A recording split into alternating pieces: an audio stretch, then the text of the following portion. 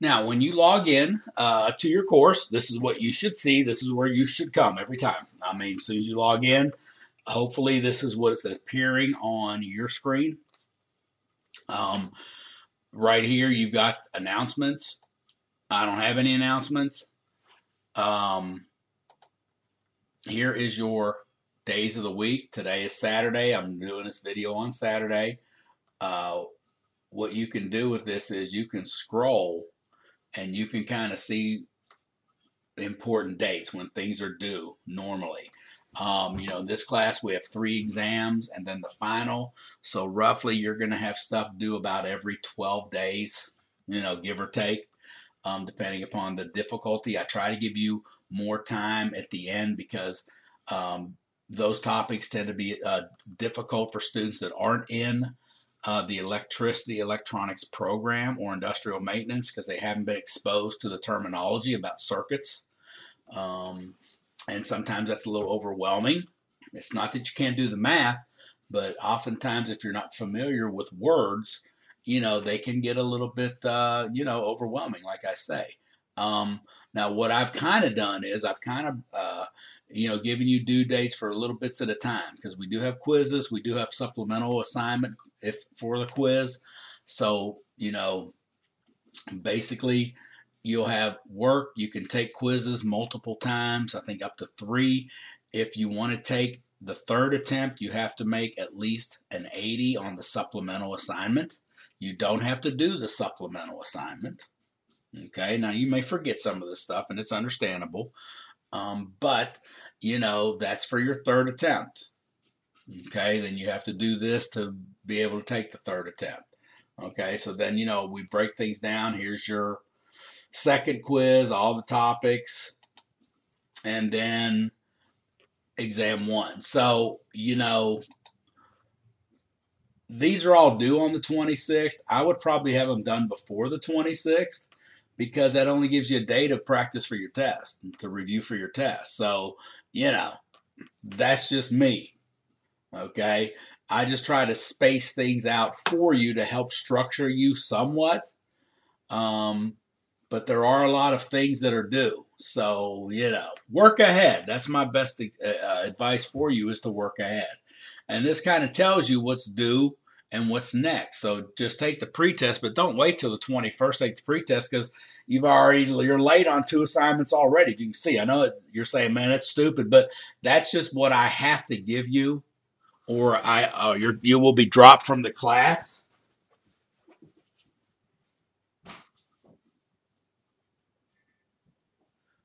So you know that's just my pacing you, but I have to give you the 21st. But you need to start the pretest as soon as you finish this and get it done with. Uh, make sure you run your browser check. So make sure if you need to upload or download any, you know, Adobe stuff, Adobe stuff, you know, whatever, to make sure you can view everything. The How to Enter Answers tutorial, really good. I suggest you watch it so you understand where to get, if you got to do fractions, things like that, how to, you know, where to access things like that. Okay. Um, this will be your where you can keep track of your grades. So this is the course home and has a lot of stuff in it. Obviously, you made it to the start here because you're watching the video. And here's your syllabus. Okay, so what, you know, right now we just changed our website. So most of these links are not good. They just take you to the same page. So if you're looking at this Monday morning, these links, for the most part, are not working, but hopefully I will have another syllabus uploaded with the correct links on it, okay, should you need something like that. But, you know, all the other information is fine, like my name, my mailbox, my phone number, you know, the summer assistant deans, things like that. Um, course materials, graphing calculator. Um, you don't have to have one, but you just need a scientific calculator for uh, that does uh, logarithms and uh, trigon- trigonometry. So make sure it's got sine, cosine, tan on there, and that'll be fine. Um, you got to have reliable internet service. Okay. Uh, you don't need a hard copy of the book. If you want one, this is what you can look up, but I don't even know if it's even being printed. Class policies. There's the pretest information. Okay. Um, you, you need to be logging in, you know, often. So try not to, you know, wait till the last minute to do things. You know, try to get in there every day and do something, or every other day and do something. All right, here's the thing about your homework and quizzes. There's 10% of your grade to homework. Quizzes are another 10%. You can be taken three times. Supplemental instruction is that uh, supplement for each quiz. If you want to take it the third time, you need to make 80 on it. So make sure you read through here. We've got three exams. Final exam is the fourth. Here's the breakdown. Final must be proctored. I have due dates at the end of this syllabus and in a due dates document. Um, you know, I will allow one retake if you have technical difficulties. Um, so just make sure you're ready. Once you click on that test, it's go time. I review all exams for mistakes, rounding mistakes, things like that. So don't no need to ask me. I review them because if everybody asked me, I'd be getting a thousand emails. So that's why. Um, you know, so I will review them. No need to worry about that. Here's your time expectations, the My Math Lab, things like that. Um, and here's their information about the proctored exams. It's our my division's policy, so I really, you know, nothing I can do about it you have to find a way to have it proctored, the final exam. So you can either, you know, go to a proctoring center. That's one option. Another option is to use ProctorU, uh, and I'll talk about all that here shortly. So here's your late work. Anything past the due date on homework will be uh, subject to a 10% penalty. So you, I don't need to extend your homework. You can work your homework past the due date. You can work it as often as you want. The problem is if it's past the due date, it's going to be penalized um, or subject to a penalty. If you miss an exam, I'll give you one extension. So just let me know. After one, though, you better have a some sort of doctor's excuse or something like that. Same thing with the incomplete. I have to have proof that there's something um, wrong, like, you know, hospitalization, things like that. Um, and then, you know, I determine if there is a reasonable possibility that you can pass. You know, I mean, if you have a 40 average, you're not getting incomplete because there's not a reasonable possibility that you can still pass. All right. But hopefully nothing like that happens to you, but there's always a chance. Uh, here's the withdrawal policy. Uh, again, these links are not working right now. They're taking everybody to the same pace, so I've got to fix all these links. Lucky me. Um, and I will do that Monday morning to the afternoon. So again, if you're watching this video early Monday, they're probably not fixed yet. All right, and so read through this, all accommodations. If you need that, you need to get accommodations. I can't give you one without they going through the proper channels. And here's your course outline. These are the chapters that these topics come from. These are the due dates. Now, it doesn't mean, you know, the worst mistake you can make, and I've had students do this, is go to chapter one, start working everything. Don't do that. I mean, that's ridiculous because we may not even be covering everything in chapter one. Okay? Um, we cover some chapters, but we'll pick a topic out of it in one section and pick a topic out of it in another section. Okay, so but this is just where they come from. Doesn't mean that you have to go through and work each problem in the chapter. That's the wrong way to do this. This is just if you need some help, this is where it's located in this specific chapter. Okay, um, and I'll talk more about that when I look at your homework. All right, so here we go. Here is my information. Again, I am really good about getting uh, email contact. I'm 24 hours, very good at that. Sometimes on weekends I may be out of contact, so you know, be patient. Most of the time I'm pretty good, but weekends are weekends, or I may be out of town or something. Um, my office phone, but email is the best way to contact me. All right. If you need to see me, we don't have office hours in the summer. Um, but if you really need to see me, it's got to be during the day because uh, I don't think I can get in my office in the evening. And so, you know, just let me know. We'll try to work something out. So here's the information about the proctored exam. Um, so if you ask questions, I'm just going to refer you to this. So make sure you read. Now, if you need affirmation, you know, fine. But don't say, well, who can proctor? It's right here. Okay, read. All right, you are an educated individual. You can read. That's why it's here. Um, again, if I didn't put this, then why should I answer your question? And there's 60 other people that I, I have to answer the same question. So that's silly. So just read through this. Um, here is a link to BCTC Proctoring Center. Again, it may not even be, yep, it ain't working either. So I will fix that. The KCTCS one is okay. So if you're not a BCTC student, you know, you can find, you know, what you need to do here. All right. Um, and ProctorU, that's if you have a webcam and you want to take your final exam at home, you can sign up through here. Okay. Remember, I work at BCTC. Okay. But it's going to cost you 20, 25 bucks. Um, but if you want to stay at home, that, that's your option. Now, here's your due dates document. It's the same document that I had um, on the end of my syllabus. You know, just gives you stuff when things are due. All right. Uh, so print that. I would print that. Um, here's your tutoring information. Um, you know, it's probably not updated yet. Hopefully, it will be. But right here is your class notes and videos. Um, so again, you know, we got sometimes duplicate information, but sometimes we need that.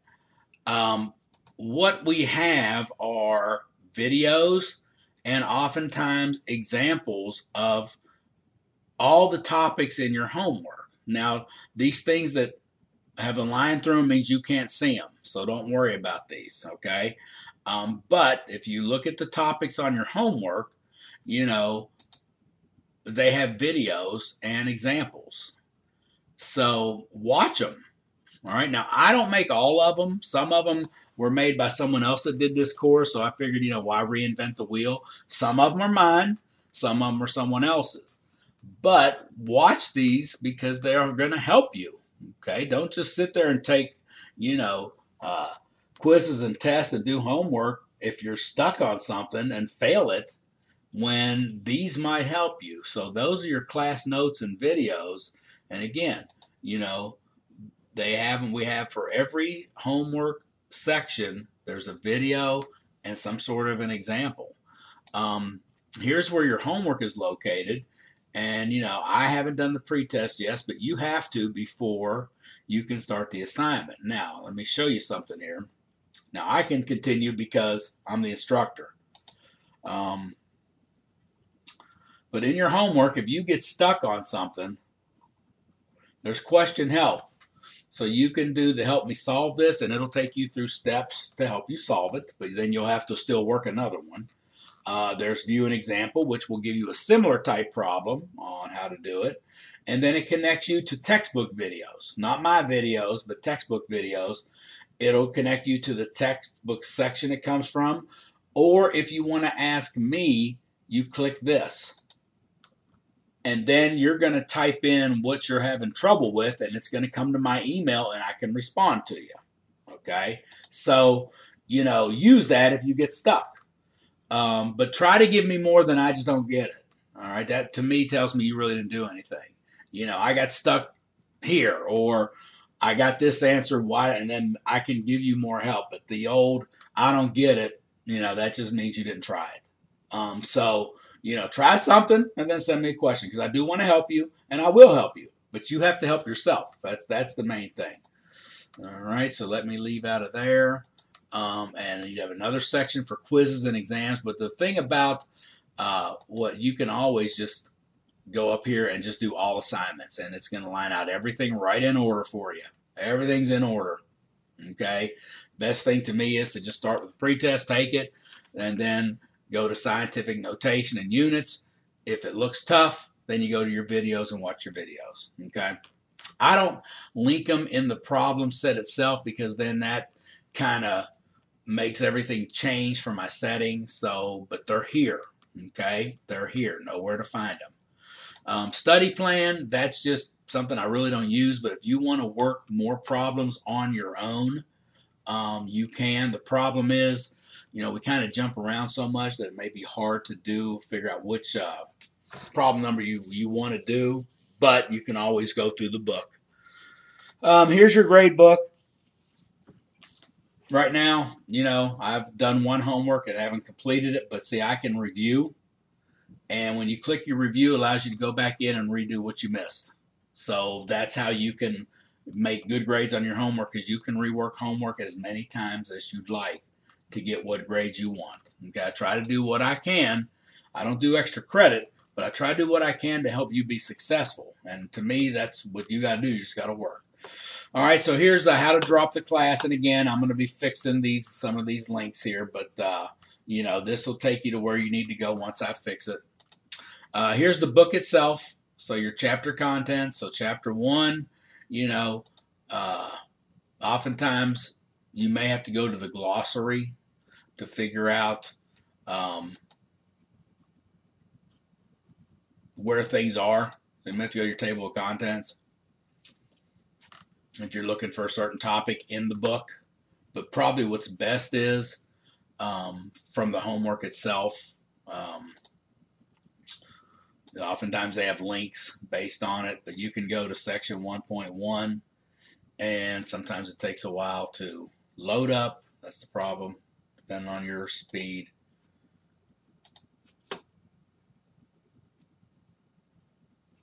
And then here it is. So this, you know, you can do your contents, chapter one, and then you can figure out, okay, I need scientific notation. Let me go to the scientific notation section and read up on it. Okay. Um, so that's your book. Mm-hmm. Multimedia library is where you can find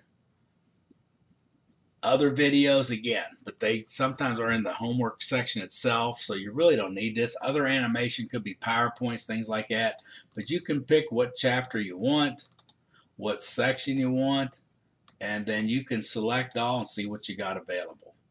So, and these are not our videos; these are the textbooks. So, you know, it gives you another, you know, option for uh, help. So, you know, take advantage of everything. But my advice to you is to get busy. I'll be sending you out reminders. Read your email. I've talked about this already. Check your email so you know when things are coming, so you don't get caught off guard. Okay. Um, now, in the course tools, one last thing, there is email, but you can email me through the question box, but you can also go through here to email me. All right. So, anyway, so that's it. Um, hopefully, it wasn't too painful, but I do believe that, you know, it's very important. Um, and I'm hoping that everyone has watched this video, but I'll know. I'll know if you've watched it or not. Not that you may care, but I'll know. So, anyway, so good luck. Get busy. If you got to get stuck on something, have questions, just shoot me an email. So we'll be uh, in touch, uh, and good luck to you.